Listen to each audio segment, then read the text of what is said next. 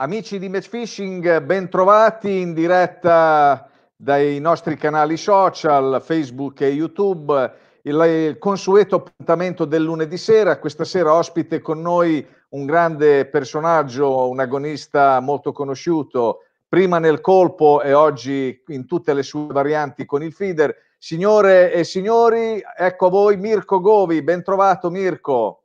Grazie Alessandro, buonasera a tutti. Eh. Grazie. Co- come andiamo? Da dove ci stai rispondendo in questo momento? Guarda, questa sera sono a casa di mia mamma, perché domani vado a fare una pescata qua in zona e allora questa sera sono qui da mia mamma, che mia mamma mi ha preparato da mangiare molto bene. Vengo ah, la mamma. Tre volte che vengo mi tratta molto bene la mamma.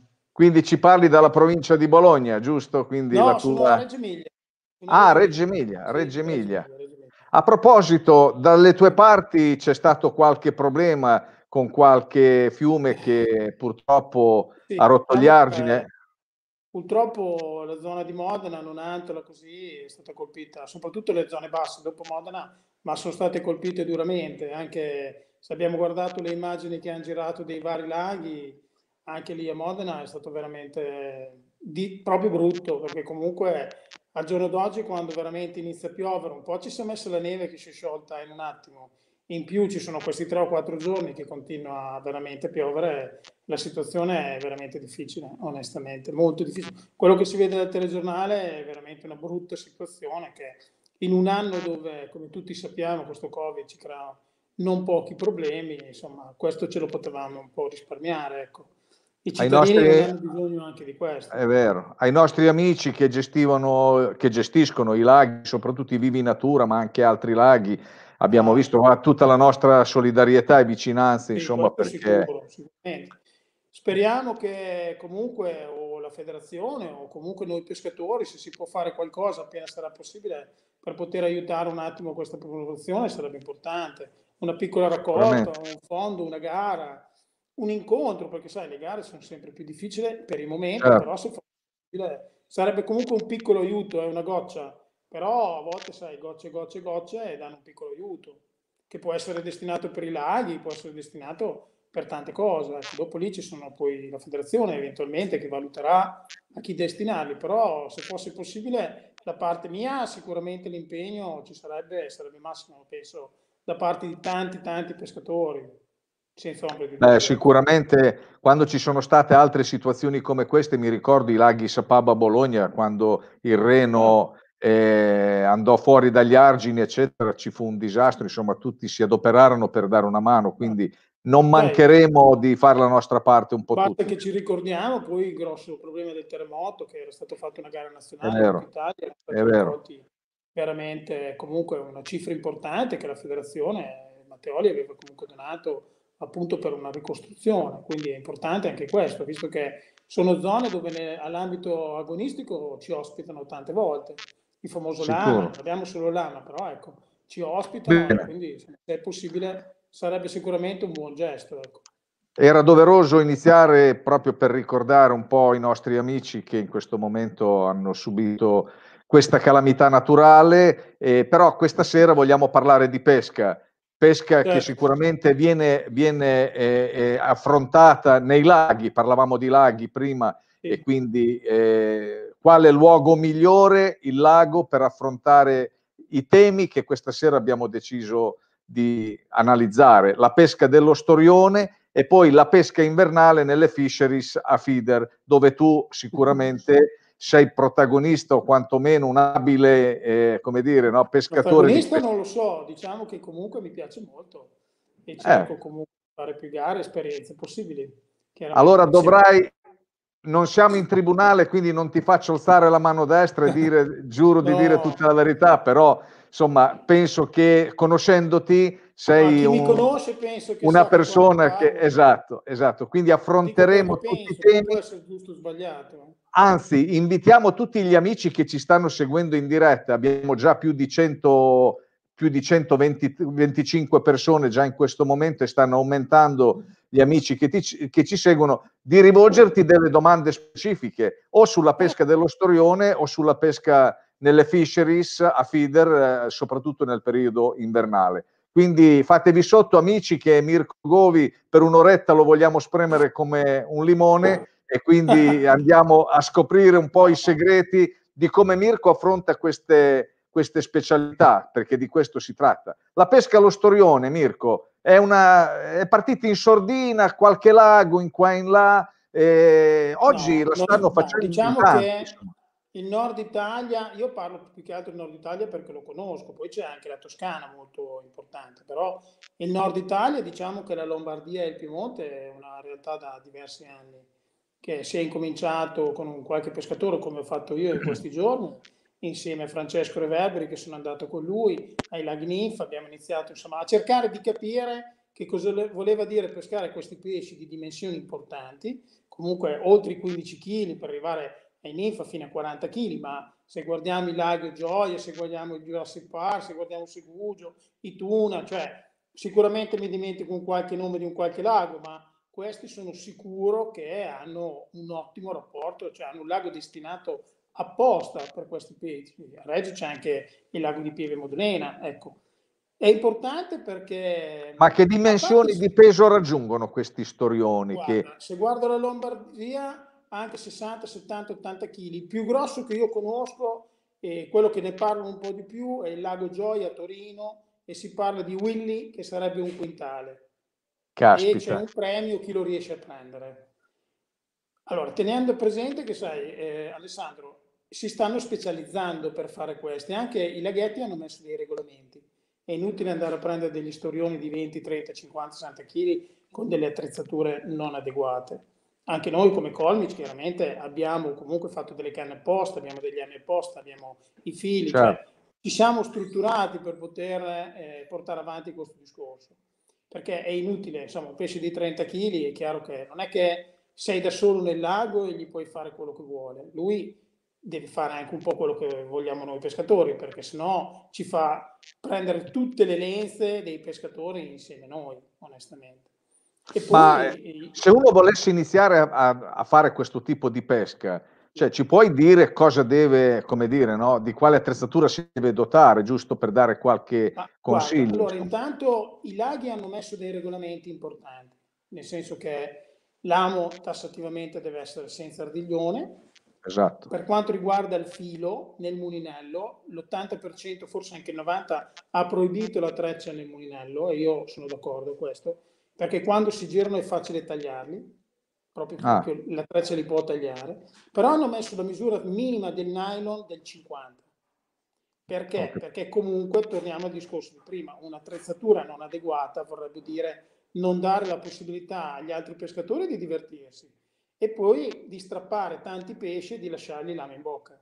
E quindi hanno messo questo regolamento, cioè intanto il nylon minimo deve essere del 50 e l'amo deve essere senza veglioni.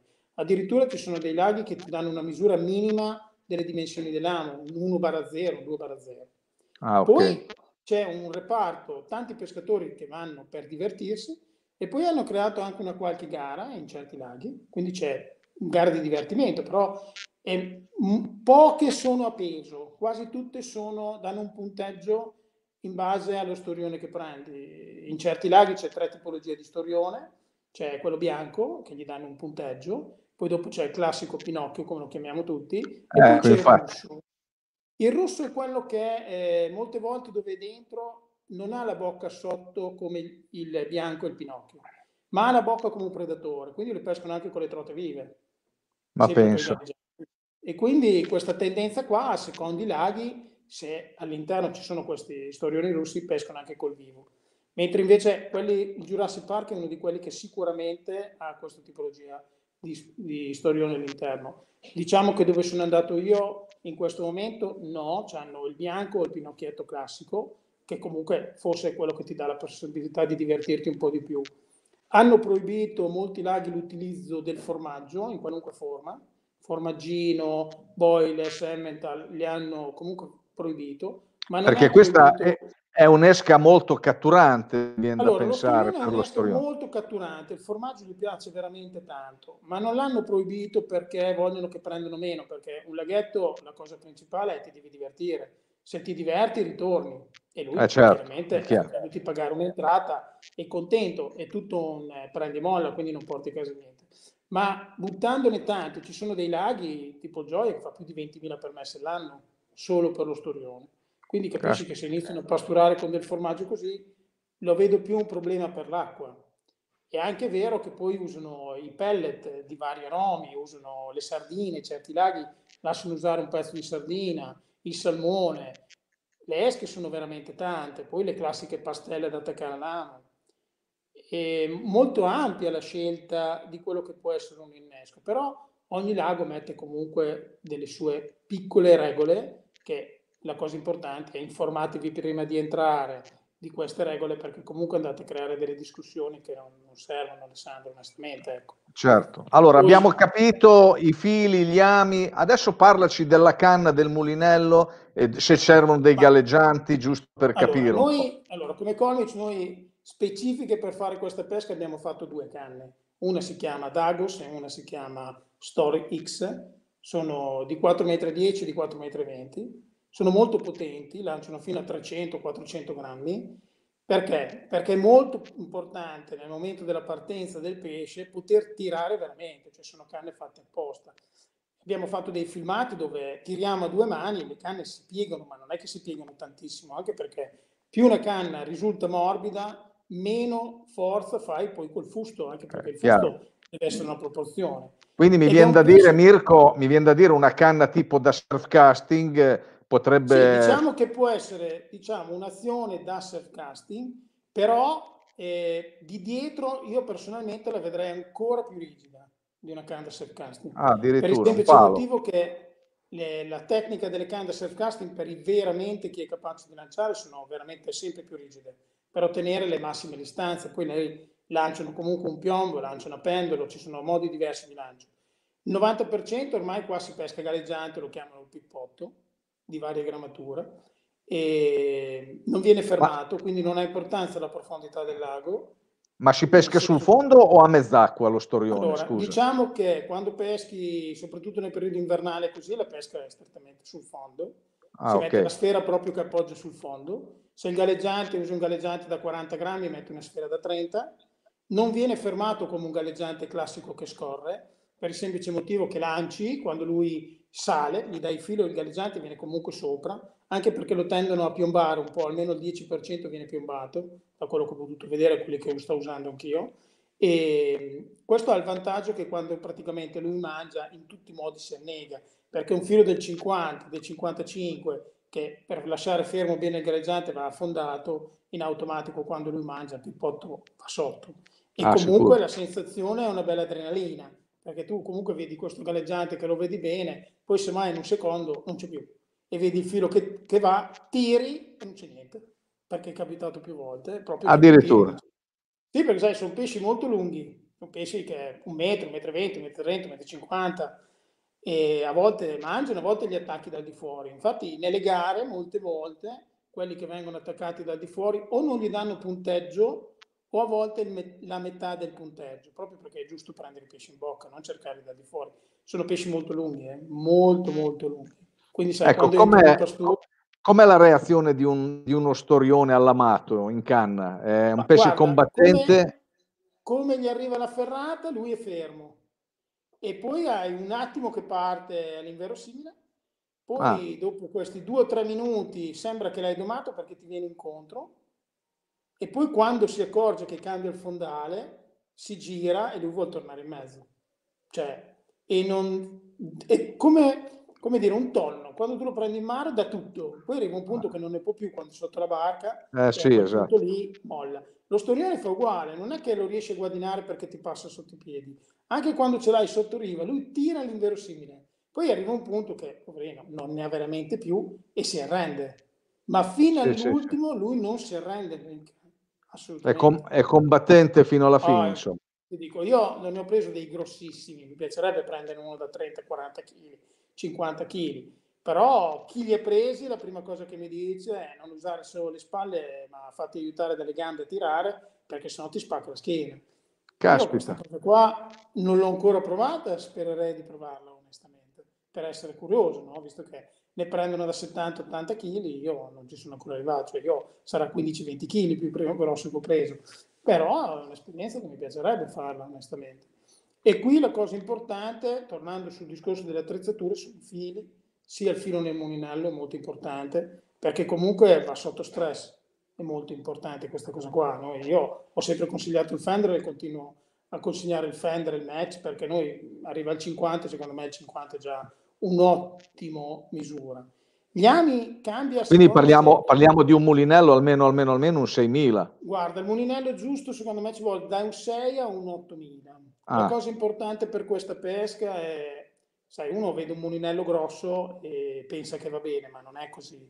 Nel senso che è importante che sia grosso per una capienza di filo, visto che sei diciamo, del 50, ah. 55, 60. Ma la cosa importante è la struttura del mulinello, cioè che sia un mulinello robusto che sia un mulinello che i dischi della frizione funzionino bene, eh, perché sennò si incollano e dopo strappi il filo. Quindi ecco, queste sono cose importanti. Non è detto che vedere un mulinello grosso di bobina o grosso di manovella voglia dire che è un modello, un modello potente. No, non è questo il discorso. Ecco.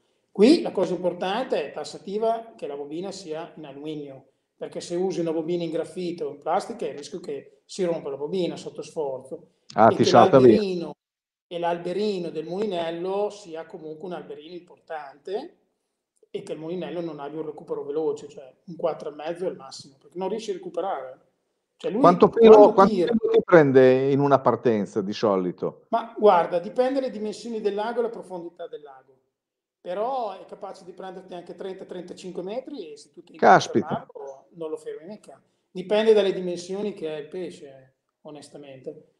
E Quindi pensavo, la, la, frizione è fondamentale, Mirko, in una situazione. Sì, eh, sì, perché... È impensabile pescare con un antiritorno questi pesci, Alessandro, eh. impensabile, ti rovini le mani. La frizione sì, sì, è tutto, hai capito? Io pensavo che, eh, essendo pesci grossi, come un siluro, il siluro quando l'agganci più tiri forte, se lo riesci a girare, lui è morto. Lo storione no. Lo storione tu lo giri, questo ti viene incontro 10 metri, poi quando vede la dislivello della riva si gira e tanto ne ha, tanto ci dà. Se c'è poca acqua saltano fuori dall'acqua. Tu vedi un pesce di 20, 30, 40 kg che ti salta fuori. Tipo un marlin. Un sì, un marlin, un delfino, cioè capitato di prendere dei pesci che saltano fuori, forse una trovata spinning. Questo lo fa, cioè, in ninfa ha due laghi, uno c'è due metri d'acqua, uno ce n'è 5-6, dove c'è due metri d'acqua è una prassi tu l'agganci, lui sale, e si mette a pelo d'acqua e molte volte salta. Per dirti. Hai, e questo hai, è bello. Hai parlato di siluro, ne approfitto per fare un collegamento. Vedo qua un amico che, che ti saluta, non so se leggi. Ah, Maini, Roberto, sì. Con Maini tu sei diventato campione italiano eh, a coppie pescando dei siluri, se non ricordo male, perché sì, c'ero anch'io in quell'occasione. Con Però quello... è un'amicizia lunga, da 25 anni. E quello è stato di, di, fare quella cosa lì, però questo era per dire e per aprire un po' la tua carta d'identità sportiva, insomma, oltre ad essere stato campione italiano a coppie, giusto per gli amici che ci stanno seguendo, vogliamo anche ricordare quelli che sono stati i titoli che hai vinto con la maglia azzurra della nazionale in Portogallo, insomma, medaglia d'oro, quella è stata una, una fantastica avventura, insomma.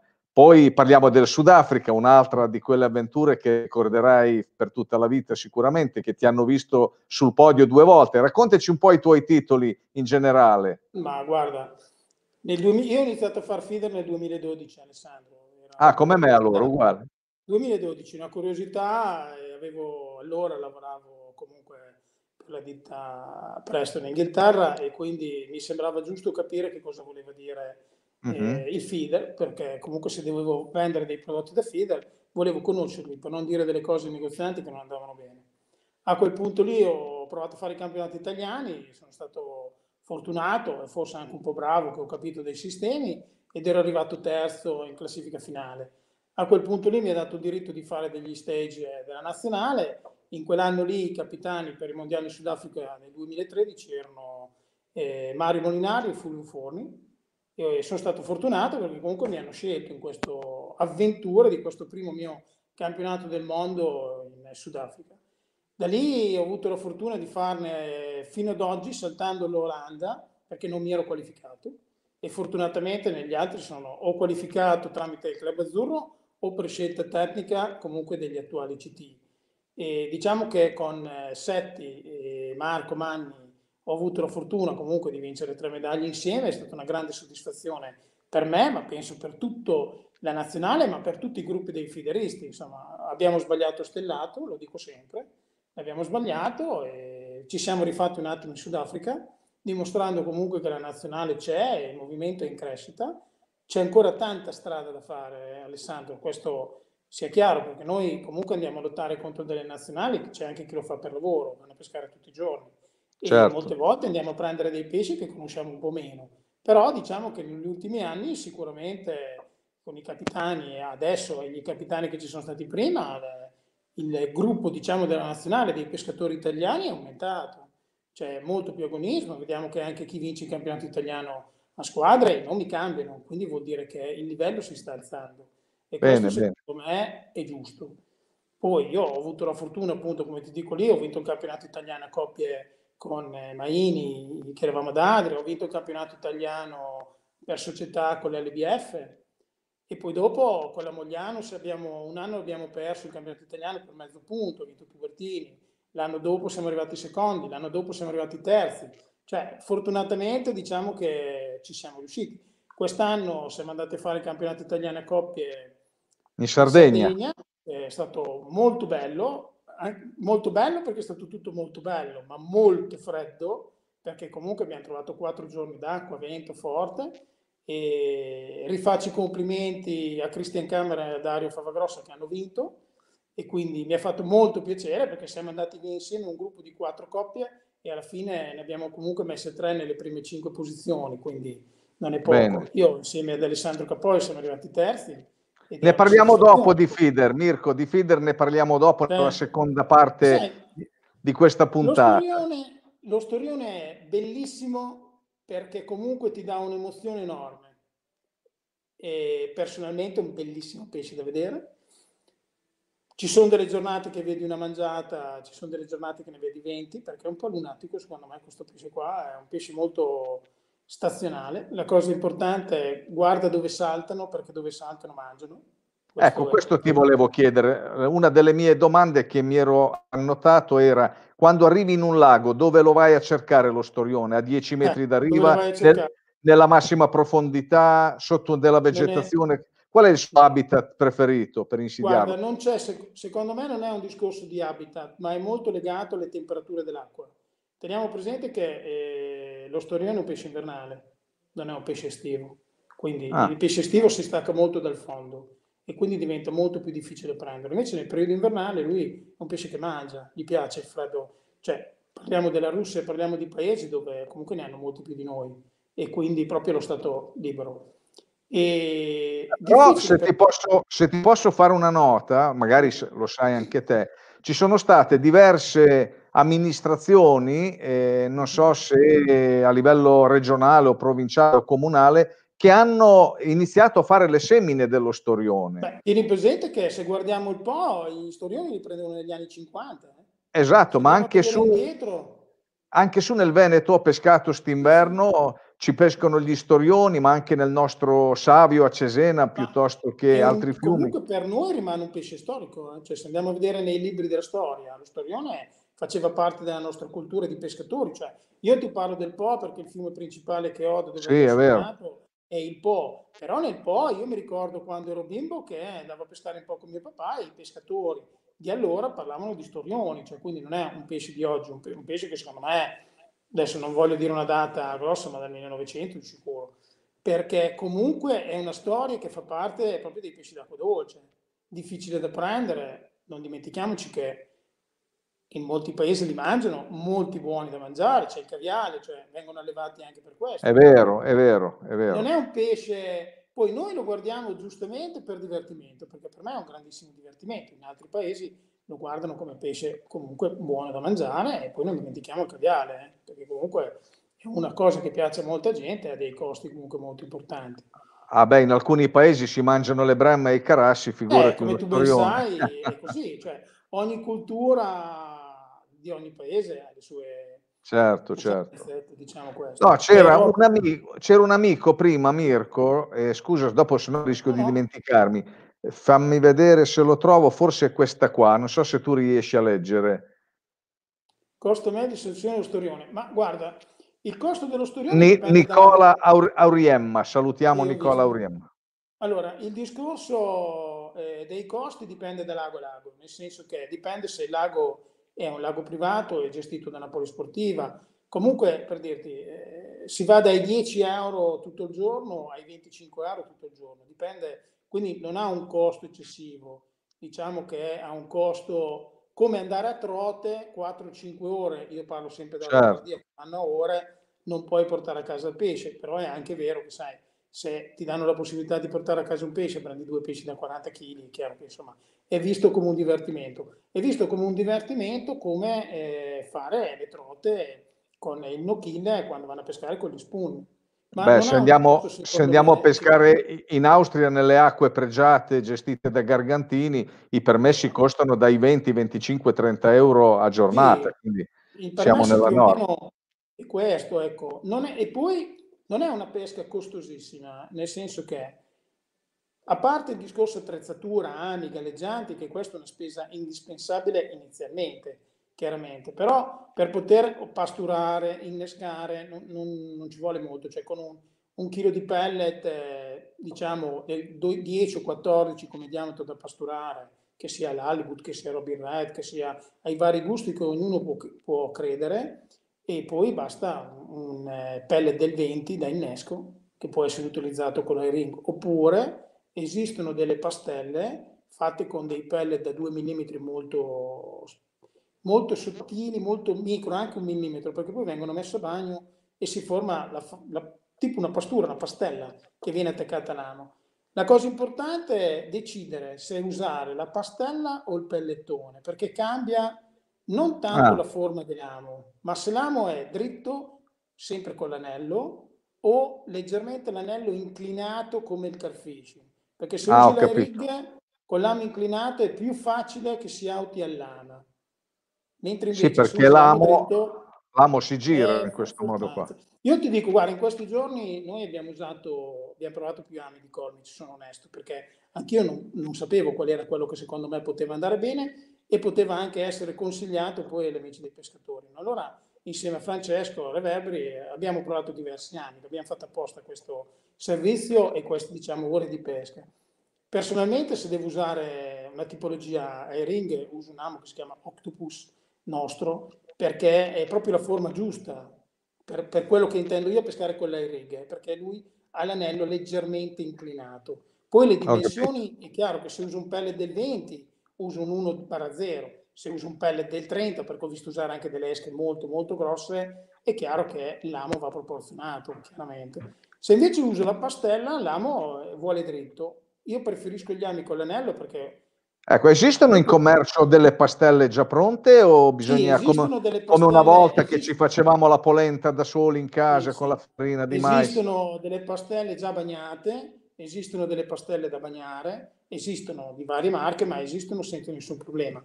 La differenza però tra eh, una pastella, questo lo voglio specificare bene Ale perché chi incomincia è importante, nel senso che Esatto, infatti ci rivolgiamo ci sono dei laghi dove all'interno hai solo degli storioni, ok? Sì. Mentre invece ci sono dei laghi dove all'interno hai anche delle carpe grosse. Quindi c'è chi li pescherà con una rig, un pellet sempre del 20 o chi invece pescherà con la pastella. Con la pastella è meglio un amo dritto, cioè noi abbiamo guardato il curvo, il dritto, ma con eh, l'amo dritto gli MR42 e gli MR70 nostri andavano benissimo. Perché? Perché è la posizione che si mette quando metti la pastella sull'amo, rimane dritta. Anche perché c'è chi usa il fluorocarbon come terminale e c'è chi usa la treccia. Qual è la differenza fondamentalmente? Il fluorocarbon, come tutti sappiamo, è più pesante ed è un po' più rigido, anche se usiamo eh, dei, dei dei floor carbon molto morbidi. Noi abbiamo usato eh, il Sigua Soft che è molto morbido, viene utilizzato molto in mare. Ma il floor carbon con dei pesci così combattivi non c'è il rischio che strappi essendo più rigido? Beh, sai, quando, quando leghi dei, dei, terminali del 50, 60... Ah beh, sì, sì, eh, indubbiamente. È un, è, un, è un, diametro importante. Però sì, sì, avevo... Hai ragione. loro lo aspirano perché a parte... Eh, diciamo che da noi i più comuni sono il pinocchietto e il bianco e hanno tutti la bocca sotto, quindi aspirano l'esca, ok? Che cosa sì. succede? Che quando aspirano comunque questa esca grossa, un amo comunque importante e un fluorocarbon di diametro importante, è chiaro che il peso lo sentono. Poi dobbiamo tenere presente che vengono forati abbastanza spesso. Allora, molte volte si può utilizzare anche una treccia di terminale del 40 perché rimane comunque più morbida, però la tenuta l'abbiamo.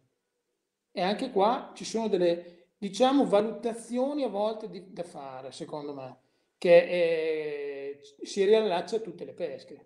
Quindi, Ma voglio, voglio, chiederti una cosa, tu che ci sei già andato un paio di volte, hai capito se ci sono delle esche di un colore rispetto a un altro che predilige lo storione? Io penso al formaggio, al cubetto di formaggio che è bianco, vanno perché c'è il profumo del formaggio o perché c'è il colore chiaro del formaggio? No, io non penso che sia un problema di colore, ma olfattivo. Olfattivo, ho capito. Olfattivo. Lui, secondo, per quello che ti posso dire io, lui sente molto l'odore del formaggio, ma sente moltissimo l'odore della sardina, sente uh-huh. moltissimo l'odore del Robin Red. Il Robin Red è, penso, la spezia più usata in assoluto nel mondo del carfishing, quindi per prendere dei pesci grossi. Penso che queste tre cose qua, insieme alla sardina, siano forse quello che lui sente di più in assoluto proprio. L'alibut comunque è un'altra cosa che sente bene. Diciamo che di tutto quello che noi abbiamo provato a buttare in acqua per curiosità e per capire, queste sono state le cose in assoluto che secondo me lui sente di più. È un po' lunatico, eh, perché semmai passa in mezz'ora vedi 5-6 mangiate, poi per tre ore non vedi più niente, vedi solo delle toccate e poi dopo però... Ecco, quindi mi viene da dire che una, una pasturazione preventiva non, non, è necessaria, stando a quello che stai dicendo Ma adesso. Guarda, secondo me serve veramente poco la pasturazione, nel senso che quando arrivi, fai una fiondata o due di pellet e poi inizi a pescare, se loro sono lì e sono in movimento, le mangiate le vedi. Io penso che la cosa giusta non è pasturare tanto, non serve secondo me a niente.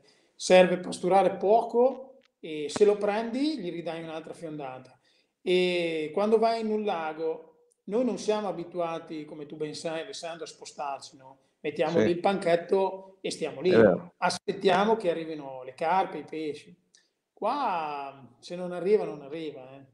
Cioè, quando sei stato un'ora, un'ora e mezza in un posto e vedi che non hai visto una mangiata, vuol dire che lì non ci sono.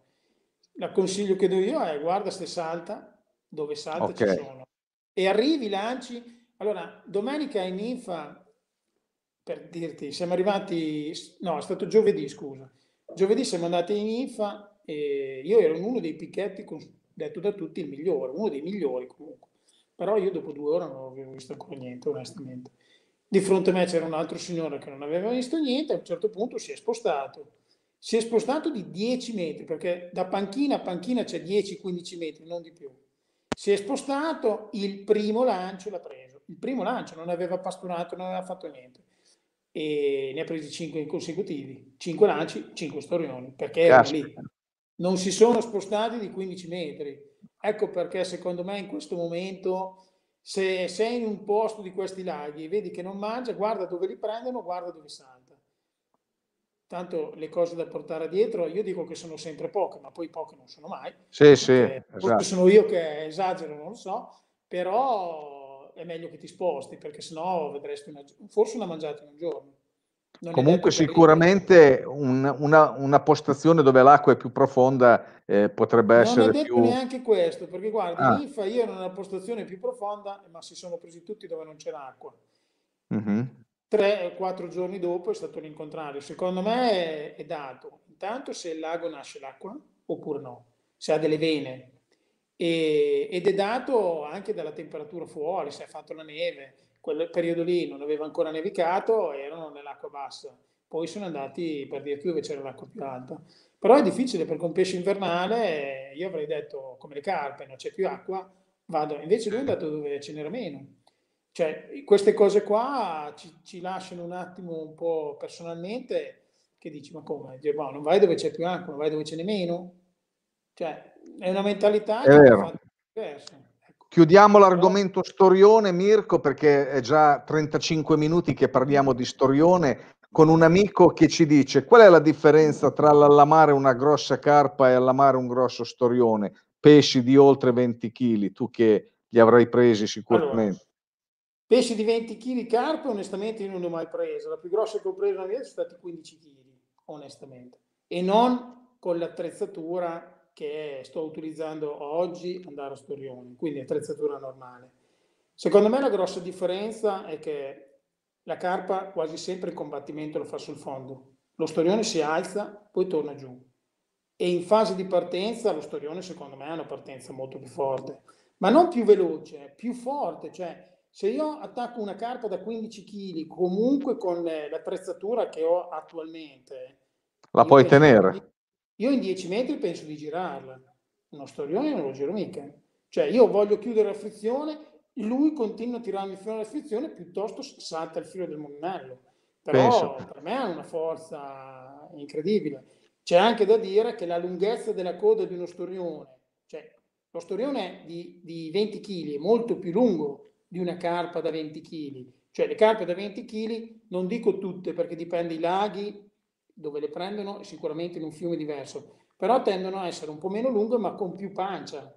È vero. Mentre invece lo storione molte volte pancia non ne ha, è lungo e quando tutto, muove quella coda lì... È, è tutta forza. È tutto un motore, quello lì, ah. onestamente. Spinge, eh?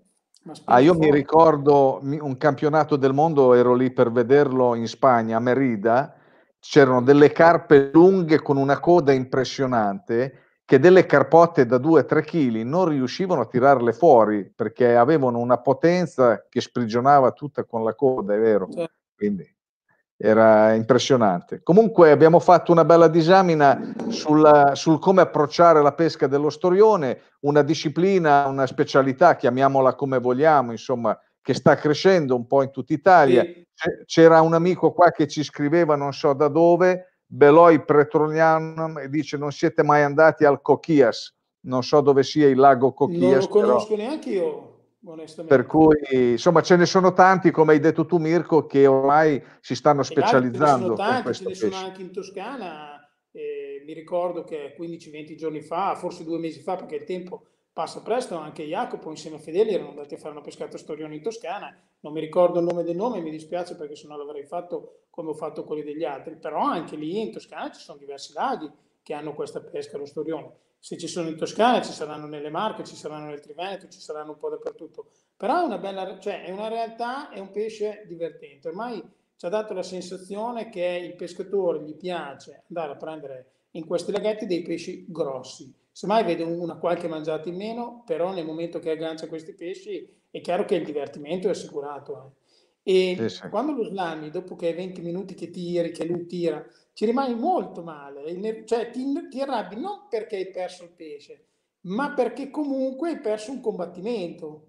Non ah. tanto perché, insomma, sono in un lago e non lo porto a casa, non è questo il problema. Sì, Però sì. La, la, bellezza di guadagnarlo, di fare due o tre foto, dopo 20 minuti fai lo slam, lo strappi, ci rimani male. Io ci sono rimasto male. Prima. Con la paura di non prenderne più, fra l'altro. Ah, beh, poi, capita, eh, se mai vedi eh. una mangiata, due in un giorno, dipende. Bene. Quando torni a Storioni, Mirko?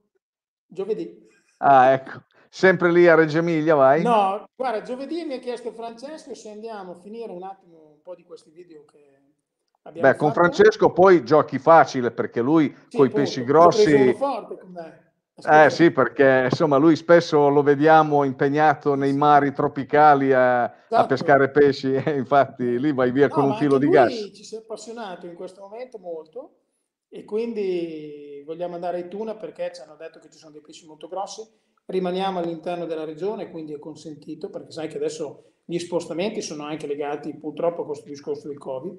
E quindi andiamo ai laghi tuna proprio perché vogliamo vedere un attimo, ci hanno detto che ci sono degli esemplari molto grossi, per curiosità. Bene, se ci sarà anche Natascia con te, gli chiedo se ha voglia di fare una diretta su match fishing su una cattura di un pesce importante. Eh, così. Perché no? Viviamo le, le, emozioni anche noi da casa seguendoti in diretta. E Va poi bene. probabilmente la domenica dopo, quella dopo, andremo da Segugio perché anche lì ci hanno detto che sono, ah. sono importanti. Oggi, per dirti, la Ninfa hanno lasciato andare quattro storioni 150 kg. Caspita. 4 storioni 150 kg, se iniziamo a fare una media, fare una media, la media di, di, di, esatto, caspita, eh, quelli, quelli da andare a fare, eh, quindi eh, è meglio che gli amici si... Di si uno, di vedere, ecco. Ecco, la canna quanto deve essere lunga? 4 metri e mezzo? Non l'abbiamo detto allora, prima. qui ci sono diversi punti di vista, nel senso che c'è chi preferisce delle canne telescopiche di 4 metri e mezzo, c'è chi preferisce delle canne telescopiche di 4 metri e 20. Io okay. oggi onestamente non ti so dire se è meglio la 4 metri e mezzo o la 4 metri e 20 perché noi come Colmic abbiamo 4 metri e 10 e 4 metri e 20. Quindi ad oggi non ho una canna di 4 metri e mezzo per dirti che è meglio usarla di 4 metri e mezzo oppure no, onestamente. Ma la sensazione che ho io è che questi 30 cm possono servire non tanto per il combattimento col pesce, perché se la canna è corta, secondo me si fa più forza nel tirare. Questo è un mio punto di vista e ci viene insegnato dal car fishing che usano comunque delle canne di 360, 390 massimo in due pezzi generalmente. Però secondo me è anche una fase di lancio, perché sai, un conto è pescare a 20 o 30 metri, un conto è pescare a 50 60 metri, è vero è che vero. sono dei galleggianti anche di 30-40 grammi, però è anche vero che nel mulinello non hai la treccia, hai un nylon che va dal 50 al 60-65. Cioè, quando devi iniziare a lanciare dei 50-60 metri con del filo del 50-55 nel mulinello, hai è impegnativo. il massimo spinta possibile. Forse questi 30 centimetri è una cosa di studio che quando andrò in vita parlerò con Andrea Collini e Jacopo appunto di questo discorso perché sicuramente penso che amplieremo quello che è la nostra gamma prodotto per quanto riguarda il discorso dello storione, perché è in aumento un po' dappertutto ed è giusto che anche noi, insomma, che Codex non si trovi preparata, anzi, cerchiamo noi, di essere preparati anche noi. In questa prima parte della chiacchierata, che ormai abbiamo occupato, dovevamo parlare 20 minuti di storione, siamo già a 41 minuti, eccetera. Però... Abbiamo, avuto, abbiamo avuto tantissimi amici, non solo dall'Italia ma anche dall'estero, Qui c'è il nostro amico Luis Sierra che ci saluta da Madrid, insieme, giusto Ciao, per Sierra. citarne uno, ma insieme a tanti altri che ci stanno seguendo, anche Ronnie Wallinger, per esempio dall'Austria, il nostro amico che viene sempre con noi a pescare sulla Drava. Giusto per citare gli amici più lontani, ma ne abbiamo tanti che ci stanno seguendo e li ringraziamo. Bene, detto questo, io passerei alla seconda parte della chiacchierata. Qui sei un po' più, come dire, no? dentro al mestiere. No, ecco. Sì, sicuramente diciamo che qui delle ore ne ho fatte un po' di più. Ecco, ricordiamolo ai nostri amici, anche se passa in sovrimpressione sotto nei titoli, adesso ci addentriamo nel mondo del feeder invernale nelle fisheries, che è una cosa completamente diversa dalle fisheries nel periodo estivo. Sono due approcci, due impostazioni completamente diverse. Cioè, mentre in estate è più un tiro alla fune dove si fanno 100-150 kg, anche, anche, di più in alcuni laghi, eccetera.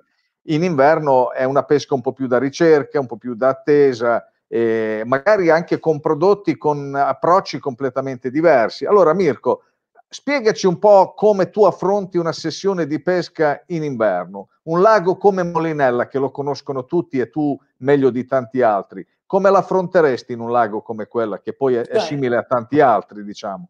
Mm, sì, diciamo che Moninella è un po' più facile sicuramente di altri laghi, nel senso che, come tu ben sai, di fronte abbiamo un'isola. Quindi sì, più bene. di là di quell'isola lì non ci possiamo andare. Quindi è chiaro che nel periodo invernale avvicinarsi a quest'isola, alla sponda, è sempre un grosso aiuto, chiaramente. Però la cosa importante che io dico sempre, parlando, vado in un lago che non conosco, che secondo me Ale è la cosa un po' più importante. Cioè uno va a pescare in un lago che non ha mai visto e a quel punto lì non è che puoi dire gioco d'esperienza. Non gioco d'esperienza nel lago che non conosco, ma gioco d'esperienza delle ore fatte di pesca in tanti laghi. Questo secondo me è la cosa più importante. Se parliamo di posture di pellet, la cosa che secondo me è importante è che devono essere posture pellet scarichi, che è molto diverso dal periodo estivo. Il periodo estivo posso usare invece della roba molto più carica anche come aromi, mentre invece io se il lago non lo conosco aromi non ne uso assolutamente perché potrei centrare l'aroma quel giorno lì per la temperatura dell'acqua e stravincere, ma se lo sbaglio, come mi è già successo un'altra volta, e non bolli, cioè guardi gli altri che prendono i pesci. Quindi il consiglio che do io è un pellet scarico e una pastura scarica. Ecco, la dimensione, la dimensione, del pellet, Mirko, da 2 mm, da 3, da 4 è in funzione... Ecco, raccontaci un po'. Allora, d'inverno, secondo il mio punto di vista, la misura standard rimane il 2 mm in assoluto. Poi se ogni tanto in mezzo alla stampata vuoi metterci un qualche granino da 4 mm per poter fare una selezione, puoi fare, però il 4 mm in inverno è già un'esca. Cioè non okay. è come gli stati che si usa il 6 o l'8 anche il 10 per fare sì. una selezione.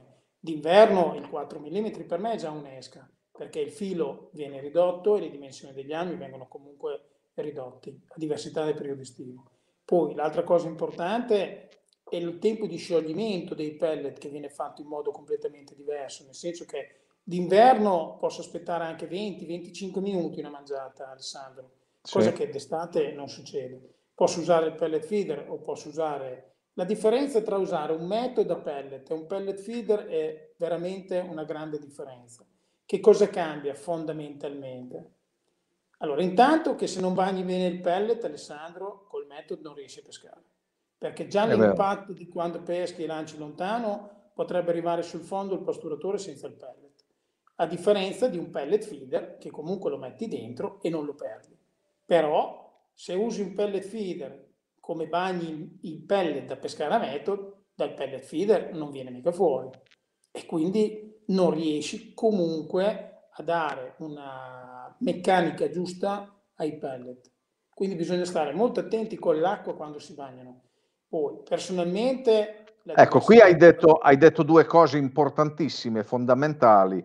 Quindi, volendo eh, specificare bene la cosa, se usiamo il metodo, servirà un pellet un po' più bagnato che sì. rimanga un po' più appiccicato allo stampino se usiamo invece eh, insomma, la, la, la, scarpetta, il pellet feeder, insomma, pellet feeder. Un, un, pellet un po' più asciutto e quindi meno bagnato allora, che, uno, che, lavori subito. Se uno vuole bagnare il pellet nello stesso identico modo, la cosa importante è che poi al mattino, quando il pellet è pronto, faccio un esempio, io faccio l'esempio sempre del bicchiere, no? Vuol sì. dire che faccio due bicchieri di pellet bagnato e un bicchiere di pellet appena appena appena inumidito perché se ah. lo metto secco poi farebbe il gioco sul fondo che si alza 10 cm e poi torna giù. Invece facendo un 2-1 appena appena inumidito, questo pellet qui non ha bevuto, non si alza, ma aiuta a spingere fuori quell'altro. Cosa vuol dire appena appena inumidito, Mirko? Appena Quanto lo tieni a bagno? Vuol dire che lo metto in una boccinella e ci butto dentro tanta acqua quanto bagnare, fare i bigatti in colla, cioè niente. Ah, ok. Il colore marrone asciutto li vedi che diventa appena appena quel marrone bagnato, ma appena appena. E proprio sì, per sì, toglierli sì. l'olio, diciamo, che hanno sopra. Perché se buttiamo un pellet da 2 mm in acqua, ne abbiamo una percentuale che va giù dritto, e una percentuale che rimane un attimo a galla e poi scende. Questo lo fanno tutti i pellet. Eh? Che cosa succede? Che se io lo butto sul fondo e non ho molta acqua nel lago, lui prima si alza 10 cm e poi si torna a scendere. Però quando si alza questo 10 cm molte volte d'inverno l'acqua nei laghi gira, cioè se il vento tira a destra l'acqua va a sinistra. Perché? Perché il vento arriva che sbatte contro la sponda del lago e l'acqua in automatico si mette ad andare sotto dall'altra parte. Quindi io avrei il pellet sì. che si sposta. Anche se si sposta di poco, si sposta di 20 cm, 30 cm, ho capito, ma se io cerco di pasturare sempre nello stesso posto, perché sto giù 20 minuti e poi la mia roba si sposta, vuol dire che io faccio fatica a radunare 3 o 4 pesi. Hai capito? Questo secondo me è cosa, una delle cose più importanti. Eh, infatti, cioè, infatti la meccanica, meccanica, della pastura o del penlet anche nella pesca feeder tradizionale è fondamentale. Insomma, la questo. meccanica è la cosa più importante. Il pescatore usa il prodotto che si trova meglio, però che si abitui a bagnarlo con le bottigliette d'acqua, con le magic box, cioè di dare sempre la stessa acqua, di usare sempre gli stessi tempi e piano piano di poter fare una qualche modifica. Perché? Quali sono, Mirko, eh, gli aromi o gli stimolatori di appetito piuttosto che, che Guarda, tu usi prevalentemente in inverno? Perché vedo periodo... tanti pescatori hanno boccettine, boccette, eh, fiale, ampolle, hanno di tutto sul piatto, ormai non si capisce allora, più niente. Insomma. Secondo io commercialmente non dovrei dirlo, chiaramente, però se uno sul piatto ha 10 o 12 boccettini, le idee molto chiare, Alessandro non le ha eh, Questo l'abbiamo visto anche il mondiale in Sudafrica, cioè gente che presentava un secchio di boccettini. Cioè, noi ci abbiamo creduto molto al mondiale in Sudafrica e sono stati molto utili, però ne avevamo tre da usare in tre momenti diversi, cioè se c'era il vento in faccia, il vento laterale, se mangiavano gli amori. Avevamo le idee chiare e ne avevamo tre. Se io in questo momento in un laghetto vedo una pedana con sopra 10-12 liquidi, il pensiero che ho io è che il pescatore non ha le idee molto chiare e non è che poi una volta lo butto rosso, una volta lo butto giallo, una volta lo butto arancione, non riesci mica a capire quello che ti serve.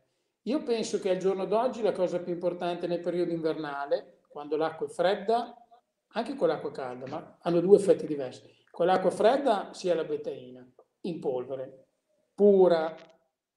Perché ecco betaina, perché Esatto, c'è in diverse modalità. Ma ci sono di diverse tipologie. Allora, ma quello che conta sono, sono, comunque le grammature, perché su un chilo di pellet quanta betaina pura ci potrai allora, mettere? Dopo dipende quanto è carico o scarico i pellet. Comunque di norma un eh, sacchetto di pellet ci vuole un cucchiaino, massimo un cucchiaino e mezzo su un chilo di pellet eh, da caffè. Cucchiaino massimo. da caffè, ecco esatto. Da caffè, da caffè.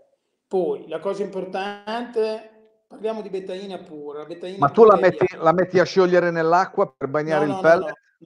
No, Gliela ti, metti ti su. Le, ti dico le, le, tre betaine importanti e come vanno usate. Nel senso che sì. le betaine che troviamo nei negozi, ce n'è una di colore marrone, ma è molto sì. più consigliato l'utilizzo per la preparazione per le boilies, per i carfici o comunque per le boilies, perché è l'unica che resiste alla cottura. Quando fai bollire la boiler anche 30 secondi, un minuto, è l'unica che resiste. Se usiamo okay. quella pura bianca, nella fase della cottura sparisce. Quindi cosa fanno? Cuociono le boilers, quando la boiler la tirano fuori dall'acqua calda, che è ancora umida, la arrotolano nella betaina pura e la congelano. Fanno ah. così. Questo è il processo migliore. Per quanto riguarda invece la pesca feeder, dopo esiste anche liquida esiste trasparente, esiste nera. La betaina è un derivante della barbabietro, come tutti sappiamo. No? Esatto. Che cosa succede? Succede che se la usi nera puoi cambiare il colore del pellet o della pastura, chiaramente, però ti lascia un alone diverso sul fondo. Lavora con un alone, una macchia, e si sparge a livello olfattivo più velocemente in acqua. Fa quasi come un aroma all'alcol. L'aroma all'alcol, qualunque tipologia di aroma, quando arriva sul fondo si tocca il fondo e si sparge sul fondo, non si alza come l'olio, si sparge lungo, diciamo, eh, il fondo del fiume del lago e si sparge. E questa è una cosa che i pesci sentono ed è un discorso olfattivo, oltre che sapore. Poi esiste quella che forse si usa di più, o perlomeno io utilizzo di più, è la bianca pura. La bianca pura, il consiglio che do io è, ma pura, eh, perché guarda che pura costa, perché quando ci sono delle betaine a 8, 9, 10 euro al barattolo, dentro c'è del bicarbonato, non può essere pura. Alessandro, cioè, non è che un prodotto si può vendere solo in base perché costa poco, perché la betaina pura costa, come altre cose importanti che tutti sappiamo che è come una crisalide, no? Esiste la certo. crisalide da poco e la crisalide da tanto, il formaggio da poco e il formaggio da tanto. La betaina è uguale, è molto importante usarne poca ma buona, secondo me. Questo è il mio punto di vista. Io questa, al massimo secondo metto... te, questa regola, scusa se faccio una divagazione, vale anche nel feeder tradizionale, quindi per la pesca nei canali, no. eh, o me, vale... Eh. No, secondo me vale sempre e ti spiego perché. Noi adesso stiamo parlando di un discorso fishery nel periodo... Di fishery, sì, sì, sì. No, no, ma ti spiego la differenza. Però mi hai, mi hai, stimolato questa riflessione. Sì, è che siccome, c'è, siccome ce l'ho la betaina pura, eh, allora devo andare no, ostellato. Volevo... Quando la uso, Ale, non è un problema. Il discorso cos'è? Se noi parliamo delle fishery invernali, io la uso perché ho bisogno di stimolare il pesce a mangiare. Sì. Perché mangia poco. Quindi è molto importante la dose per non esagerare, perché il troppo è sempre troppo. No? È come qualunque cosa noi facciamo, se si esagera, gli diamo noia. Okay? Quindi certo. la dose giusta è, secondo me, un cucchiaino, un cucchiaino e mezzo di betaina in un chilo di pellet o in un chilo di pastura. Ma la cosa importante è quando la mettiamo. Questo, attenzione perché, Alessandro, io parlo del mio metodo. Poi se mai intervisti un'altra persona e ti parla del suo metodo. Io parlo della mia esperienza, chiaramente. Io prima do la prima bagnata al pellet, poi il pellet va mescolato, prima gli do la bagnata, dopo 10 minuti che gli do una mescolata, il pellet, come tu sai, è ancora molto bagnato, perché comunque per bagnare bene un pellet ci vuole 40-50 minuti di media. A quel punto qui io metto la betaina, non lo metto da asciutto, perché sennò non si scioglie. Prima lascio che il pellet incominci a bere un po' d'acqua, Dopo 10 ah. minuti che il pellet è all'interno dell'acqua, metto la betaina e da quel momento lì tengo solo mescolato. Lo stesso okay. discorso se bagno la pastura. La prima bagnata la pastura asciutta, io gli devo dare l'acqua, ok? Gli do una percentuale d'acqua a secondo le pasture. Prima di tornare a dare la seconda volta l'acqua, a quel punto lì gli metto la betaina. Perché se io gli metto la betaina asciutta e gli do una mescolata e poi ci butto l'acqua, non è lo stesso Va via. Effetto. No, va via. Va via, esatto. non è lo stesso effetto. Questo è il mio punto di vista. Se invece parliamo del periodo estivo, c'è da stare attenti perché? Perché la betaina è un ottimo stimolatore d'appetito, ma devo fare attenzione che non si agitino troppo i pesci, perché nel periodo estivo, come tu sai, i pesci sono molto attivi, a diversità del periodo invernale e l'acqua fredda. Il pesce è molto attivo. Che cosa succede? Che se sbagliamo le dosi, ha un problema perché li agitiamo. È come la canapa. La canapa è un, un ingrediente fantastico per tutti i cipridi, no? Ma attenzione, eh, perché se gliene diamo troppa al momento sbagliato, acidi- cioè, secondo il mio punto di vista, agitiamo molti pesci. Cosa succede? Vediamo tante false partenze, tiriamo vuoto, vediamo il cimino che non è mai fermo. Quindi ogni cosa bisogna, secondo me, dosare queste cose qua. Un minimo di conoscenza. Quello che dico io è, quando andate a provare e provate, provate con poca, poi potete aumentare, piano. Cercate le piccole differenze fare attenzione alle piccole differenze. Comunque, secondo la tua esperienza, un cucchiaino da caffè e mezzo, quindi un cucchiaino e mezzo per chilo di pellet. Questa è un po' per la chilo. tua... Pellet o pastura, non cambia niente. È io la tua dose, insomma, di, sì, di riferimento. Io faccio, questa è, diciamo, la dose che secondo me negli anni mi ha dato un po' più di tranquillità in quello che sto facendo. Ecco. Di sicuro non è troppo, Ecco, cioè non li mando via perché gli dà noia, assolutamente, secondo me no. Poi c'è anche qualcuno che ci parla di betaina liquida, eh, sì. per esempio un, un, amico di Ravenna, Baldrati, che probabilmente usa una betaina di Ringer, dice in che dosi la devo usare. Sai, la dose è sempre basata anche alla pastura che lui utilizza e il pellet che utilizza. Non c'è una dose, è quello che ti dicevo prima, Alessandro, cioè va eh, dosata in base a quello che utilizzi. Cioè se io utilizzo un pellet che quando lo bagno invece di bere 300 ml d'acqua me ne beve 500, è chiaro che devo metterne un po' di più. Ah, Sono certo. le famose prove che ti dicevo, hai capito? Secondo me se la betaina è buona ed è pura, quando io in mezzo litro d'acqua, se è liquida ne ho messo un tappino, due del barattolo classico, è più che sufficiente, che equivale più o meno a un 20 cc, un 25 cc, perché sennò poi che cosa succede? Diventa troppo, troppo. Quando è troppo, è troppo. Cioè invece di attirarli, li allontano. Cioè è sbagliato secondo me il concetto, capito? Io non li devo sfamare, devo far sì che li devo attrarre, loro devono avere appetito, perché se un, mi arrivano 10 pesci contemporaneamente sulla pastura, va bene? E loro la mangiano, e la mangiano tutti voracemente, io non ho il tempo di prenderli tutti e 10, perché comunque quando attacco una carpa gli devo dare il tempo di portarla a casa, di tornare a innescare, di tornare a lanciare. Cioè io li devo trarre in postura, non li devo sfamare, gli devo dare delle cose che rimangono lì e gli piacciono e a quel punto lì ho la possibilità di prenderli anche tutti e dieci. Ma se Però io ho visto, Mirko, ho visto che in una gara di, di feeder in un lago commerciale a method così, cioè la prima ora solitamente ho visto che le catture sono abbastanza omogenee, regolari, prendono tutte. Poi c'è chi fa la fuga e continua a prendere chi si ferma.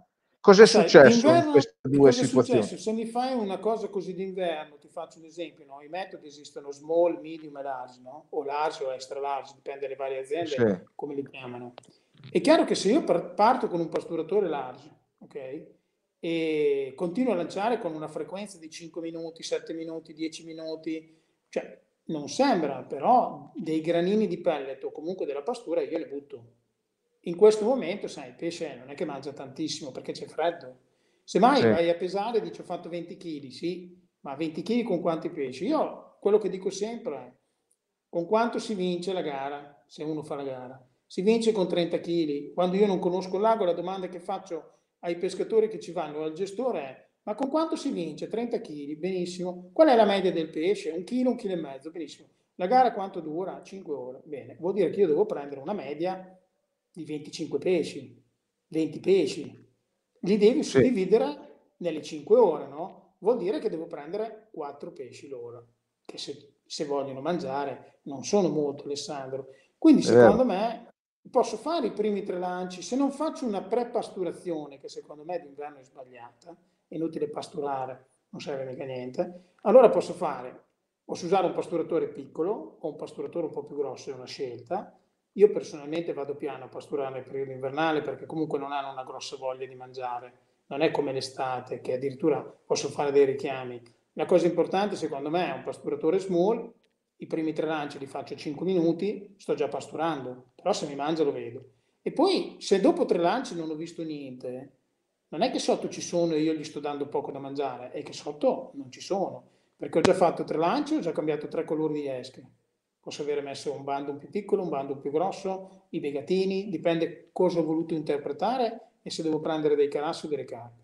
A quel punto lì non è che se butto un pasturatore più grosso prendo dei pesci, cioè non ci sono, devo farli venire. Quindi, Perché le carpe, se ci sono, devono mangiare.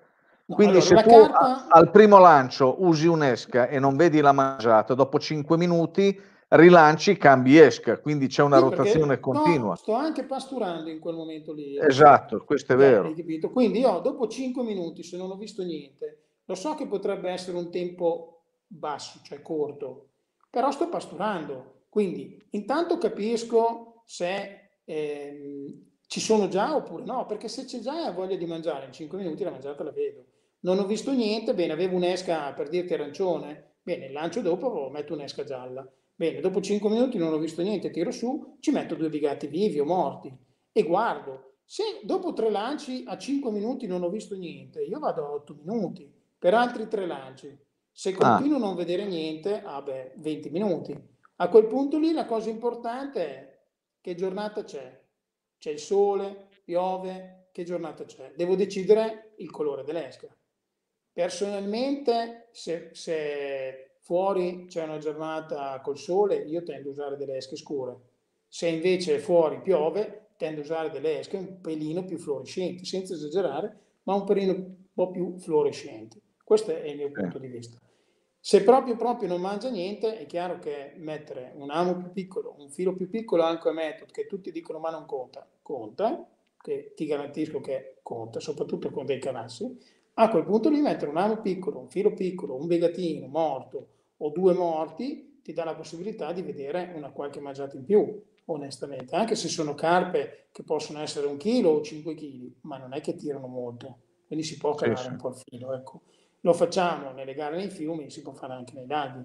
Però secondo me la costruzione, a volte ci sono delle gare che per due ore non vedi una mangiata, ma io non sono preoccupato, cioè nel senso che se finché uno ha uno, due, anche tre pesci di vantaggio presi prima, ma secondo me potrebbe anche fare un qualche piccolo errore di, di lancio, di posturazione. Non, non, bisogna farsi prendere dalla paura di dire ma io non ho preso niente. La gara dura 5 ore, devi essere concentrato mentalmente pensare che quello che stai facendo è giusto e di non farti prendere dall'errore di dire faccio quello che fa quello vicino a me. Perché intanto se lui ci ha preso ha già vinto. Pensa di portare avanti quello che è la tua esperienza e di continuare a fare fatto bene quello che volevi fare. Perché la gara è lunga, sono 5 ore. Non è che prendere tre pesci la prima ora okay. e tu non li Però... hai presi però tu hai un lago dove potenzialmente hai 40 metri di spazio per poter impostare tua, le tue 5 ore. Tu ti prepari una linea solo o al prontivia ti fai anche un'altra linea di scorta per vedere? Allora, secondo me le linee in un lago così che non conosco, fondamentalmente se la linea massima è 40 metri non parto di sicuro a 40 metri, ma partirei sui, sui 35 metri, per il semplice motivo che se proprio l'ultima ora mi serve vedere una mangiata o due e a quel punto lì ho paura che non mi entrino più dovuto al rumore dove sto pescando, posso allungare un metro alla volta vedere se sono... Molte volte capita che sono davanti un metro eh, alla roba, un metro e mezzo, quindi li posso andare a trovare. A volte nel periodo invernale eh, ci ostiniamo a lanciare troppo bene, sempre nello stesso posto. A volte bisogna provare un po' più a destra o un po' più a sinistra. Ah perché se mai ti sposti di due metri a destra ne prendi tre in fila. Eh. C'è da stare molto attento nel periodo invernale di queste cose. Non è che se io ho un riferimento, un albero o un palo sulla sponda opposta, devo sempre ogni lancio rompere questo palo, no? Ogni tanto non succede niente se faccio anche un lancio due metri a destra o due metri a sinistra. E l'altra linea c'è sicuramente, può esserci una linea più corta, che può essere i 10 metri di regolamento Fisher, i 15 metri, però più di due linee è impossibile gestirle in un laghetto, perché comunque gli devi dare del tempo, non è come d'estate, che puoi anche farne tre, ogni volta che lanci vedi una mangiata, se vuoi farli riposare, ma d'estate non è così. E ci devi credere. Pensa se hai deciso di fare la gara a 35 metri, Alessandro, e tieni pasturato a 15 metri, va bene? Dopo un'ora e mezzo, due ore, non vedi niente a 35 metri, dici, boh, vengo nell'altra linea, ci faccio esatto. un lancio, ok? Ma ci faccio un lancio, eh, non posso stare giù 5 minuti, anche se ogni 20 minuti gli facevo un lancio di richiamo ogni mezz'ora, devi dargli fiducia. Il primo lancio 20 minuti, non vedi niente, cosa fai? Vai via? Gli devi ridare fiducia. E se in quel momento sono arrivate 35? Eh, quello il, la gara? Eh, è quello il fatto, non è mica facile ecco fare queste scelte. dico, d'inverno, secondo me, io più che due linee preferisco una linea, mai la più lunga, se mai ti dico 40 metri, 35, li aspetto lì, e poi l'ultima ora, l'ultima ora e mezza, ho preso bene, sto andando bene, mi serve, bene, a quel punto lì inizio e mi allungo. Perché molte volte noi anche parliamo a stellato, facciamo due linee, tre linee, ho capito, ma se quando vieni via è il momento che ti arrivano, ah, la gara è finita. Eh, ah, dopo, sì, sì. Dopo eh. torni là gli ultimi 15 minuti, vedi due mangiate, dici, forse è andato prima. esatto, è, è sempre eh, così, infatti. 5 ore bisogna aspettare. Poi ogni pesce ha le sue abitudini, le sue caratteristiche, magari nei canali si parla di breme, di carassi, nei carpodromi forse il pesce è più reattivo perché è più abituato alla botta, sa che sulla botta c'è il cibo e quindi... D'estate. D'estate. Sì, eh, tendenzialmente... Guarda, diventa reattivo se vai in un laghetto che sai che ci sono dei picchetti dove vincono tutte le domeniche. Allora lì è sempre reattivo. Okay? Però eh, come se andiamo a Molinella e d'inverno prendi una punta, visto che lo conosci, quindi sai di che cosa sto parlando. Prendi una punta, tu sai che prima o poi arrivano e a quel punto lì puoi avere un'alternativa dei 15 metri, va bene. Però hai una riva di là, non ti scappano. Cioè, tu dici, vabbè, faccio due linee a Molinella, ci sta benissimo. Perché? Perché hai una riva dall'altra parte. Quindi che cosa esatto. succede? Forse di lanciare un metro da questa riva, puoi arrivare anche a un punto che gli dai noia. Solo il rumore. Allora ti fermi un attimo, vieni a 15 metri, non tanto perché dici vanno a prendere dei pesci, a volte non li prendi, però lasci riposare una linea, smetti di picchiarci in testa con un pasturatore. Casualmente torni fuori dopo un quarto d'ora, 20 minuti, come il pasturatore arriva sul fondo e vola via la canna. Perché? Perché gli hai lasciati riposare il rumore, capito? Lo stesso a volte succede anche a stellato. Stai pescando contro la riva sposta, lanciamo dei pasturatori da 40, 50, 60 grammi, hai fatto una bella fila di carassi o di brem, non vedi più niente, vieni a provare le placchettine corto, dopo 20 minuti, mezz'ora non hai visto niente, se mai hai preso un pesce, cosa fai? Torni di là, il primo lancio ti vola via la canna. Perché il rumore comunque gli noi, noi ogni volta che lanciamo comunque facciamo rumore e gli lanciamo in testa. Questo ah, sicuro. Ecco, quindi... Eh, abbiamo parlato di pasturatori, di pelle, di pasture, di integratori eh, per chiudere questa chiacchierata, le canne in inverno dove si usano fili più sottili, sicuramente eh, quanto, sono, quanto devono essere diverse da una canna per la pesca in estate? Cioè sono sempre carpe, ma forse serve una ma, canna ma, con un fusto più morbido. Cosa, che cosa mi dici guarda, al riguardo? Noi, io quando sono arrivato in Colmic, che Andrea Collini insieme a Jacopo mi hanno dato la possibilità di sviluppare le canne, ho fatto due canne leggermente distinte, nel senso che per me era molto importante i cimini in fibra di vetro per andare a carpe, perché se ne slava meno, e loro il cimino di fibra di vetro non lo sentono quando è una questione ah. di mangiata e di cattiveria e se ne slama meno quando le porti a guadino. Noi abbiamo fatto le Prime Scarpe, abbiamo distinto proprio la SL dalla SX. La SL è stata fatta la 10 piedi e la 10 piedi e 6, proprio esclusivamente perché questo, perché comunque risultavano una canna con la stessa azione della SX, che c'era la 10.8 e la 11.8, identica di punta, perché comunque vedere la mangiata, non di punta parlo del cimino perché li puoi cambiare, ma del secondo pezzo, identica l'azione. Cioè, cioè parli, da, parli, de, parli, della base del cimino, cos'è da 2 da sì, 2 il secondo viene definito, diciamo, il primo pezzo dopo il cimino sì. l'azione era identica, quello che cambiava era la potenza della base. Ah, ok. Perché? Perché d'estate ho bisogno di una, di una base più potente, più rigida, che mi aiuti quando io voglio tirare a fare forza su dei pesci. A forzare, sì. A forzare. Mentre invece nel periodo estivo, che uso dei, nei periodi invernali, scusa, che uso dei fili più sottili, avevo una base più morbida, che seguiva di più la mangiata, seguiva più le testate dei pesci, perché si usa degli ami un po' più piccoli, dei fili un po' più sottili. Sono stati proprio differenziate da questo discorso qua. Che cosa ci mancava? Ci poteva mancare una canna sempre di 10 piedi o di 10 piedi e 6 con i cimini in carbonio, non tanto per le carpe, secondo me, ma perché ci sono dei laghetti che nel periodo invernale prendi molti carassi. Il carassio con il cimino in fibra di vetro si allama con più difficoltà, si attacca meno da solo, ma le carpe è molto ah. meglio. Capito? Questo secondo me è la cosa importante, arriveremo con una serie di canne appunto con i cimini in carbonio proprio per avere la possibilità col pescatore di spiegare, guarda, se sai che vai in un lago dove su 10 pesci 9 sono carassi, questo ti dà un vantaggio. È più difficile che sbagli la mangiata, perché la carpa, la mangiata, lo sai anche te, Alessandro, quando mangia sì, porta via la canna. La canna va via. Quindi, mentre invece il carassi non è proprio così. E allora effettivamente il cimino in carbonio dava questo vantaggio. Abbiamo iniziato valutando le carpe perché comunque il 90% delle gare nei carpodromi è chiaro che si vince carpe. Sono rari i carpodromi che vince con i carassi. Poi nel periodo invernale invece, sai, i carassi diventano importanti perché una volta i carassi erano 200 grammi, adesso c'è il lago di Bezze, c'è il lago dove hanno fatto le finali, che adesso mi sfugge il nome. Lago Pascoli. Lago Pascoli, mi ero sfuggito il nome. Ha fatto, tra l'altro, voglio salutare i ragazzi del Pascoli e il gestore eh, Enrico perché hanno fatto delle semine questi giorni di carassi, meravig- carassi imperiali meravigliosi quindi, e stanno eh, vincendo allora, gare con i carassi anche. Quindi è una bella... Proprio perché ci sono queste esigenze di questi laghi, proprio perché sai, nel periodo invernale il carassio poco o tanto mangia.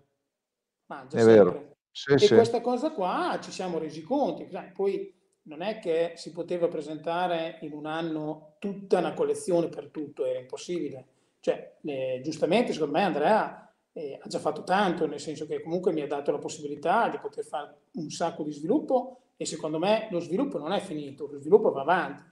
Però si è stato dato delle priorità, abbiamo fatto i mulinelli, abbiamo fatto le minuterie, abbiamo fatto i buffetterie, la buffetteria, il panchetto, cioè abbiamo fatto veramente tanto in un settore feeder dove comunque Colmi ci punta e Andrea ha fatto dei, degli investimenti. Sicuramente, sicuramente. ci sono anche molti team sponsorizzati Colmic, grandi protagonisti sì, nel feed. sponsorizzati Colmic, voglio dire questo perché in tanti ogni tanto mi chiedono, mi dicono ma i pellet voi non avete niente, è vero, noi come Colmic per il momento non abbiamo niente, ma per il semplice motivo che i campioni che fino ad oggi abbiamo comunque provato non hanno risposto come le aspettative che ci davamo abbiamo preferito non uscire, aspettare di avere in mano dei prodotti qualitativamente giusti, perché comunque uscire con un prodotto che non va bene, anche se dopo ne trovi uno che va bene, non vanno mai bene. Quindi stiamo aspettando di avere in mano, non tanto, eh, non è che vogliamo avere 200 tipi di pellet o 200 pasture, cioè noi per quanto riguarda il canale, con le Wonder, con le pasture che abbiamo, ne abbiamo e non abbiamo problemi. Per quanto riguarda il discorso delle fishery, parlando di pastura method, stiamo testando comunque dei campioni che sto facendo io, sto facendo Capoia, proprio perché quando arriveremo e presenteremo queste due o tre pasture e queste due o tre tipologie di pellet, siamo sicuri di offrire ai nostri sponsorizzati e non solo comunque un prodotto all'altezza del marchio Cornice. Questa è la cosa più importante. Bene. Non vediamo l'ora di, di vedere questi prodotti che sicuramente saranno all'altezza della fama del nome importante di Colmic. Io direi di chiudere qua questa bellissima, interessantissima, lunga chiacchierata. Tutti gli amici che ci hanno seguito eh, lo potranno rivedere questo programma, questa intervista sui nostri social, sia su YouTube che su Facebook. Vi rimando all'appuntamento di lunedì prossimo dove Luca Caslini incontrerà gli amici della Tubertini e parlerà sempre di feeder insieme, credo, a Mario Casale e a Matteo Tubertini. Io però Mirko, siccome mi sei piaciuto tantissimo, eh, come pescatore quando ti ho nel settore mi piaci di meno, però come eh, eh, spiegazione di quelle che sono le teorie sei veramente bravo. ti chiedo la cortesia eh, di essere ancora nostro ospite per parlare magari di altre discipline, di altre tecniche come il feeder, perché sicuramente insomma, hai tanto da, da raccontare, noi siamo qui a imparare, insomma, perché un campione come te, eh, giù il cappello. Insomma. Importanza. Eh, io volentieri, Alessandro. Alessandro, volevo fare un saluto a una persona, se è possibile. Come certo. tu sai, eh, vabbè, io sono legato comunque, ero legato a Gianni Breda, perché comunque con lui abbiamo fatto due mondiali e sono state portate avanti le fishery. Colgo l'occasione per salutarlo, visto che, come sappiamo, non è stato eletto e personalmente mi dispiace. E l'altro discorso, saluto il presidente Natucci, anche se non è più presidente, che comunque con lui ho fatto veramente tanti mondiali e per me rimane comunque una persona eh, importante. Poi ha fatto le sue scelte e so che il nuovo comunque, presidente del settore Antonio è il, nuovo, è il nuovo uomo di punta del feeder della Colmic. Ha già Bene. detto che mi vuole rompere le ossa alla prima occasione. Adesso... Vabbè, questo l'ha detto lui, io non lo dico mai. Sto studiando, sto studiando. L'altro invece, vabbè, visto che è nuovo è Antonio Fusconi, certo, certo. partiamo nel modo migliore e vediamo quello che ci dirà. Speriamo che il Covid ci lasci pescare perché in questa cosa è un po' così, insomma. Speriamo bene. Bene, Mirko. Ti ringrazio molto. Niente, Aspettiamo la diretta di Natascia con i tuoi storioni giovedì prossimo. Va bene? Ma sicuramente, sicuramente. Grazie, salutami Natascia, salutiamo tutti gli amici a casa. A tutti, eh. ciao. ciao, ciao, ciao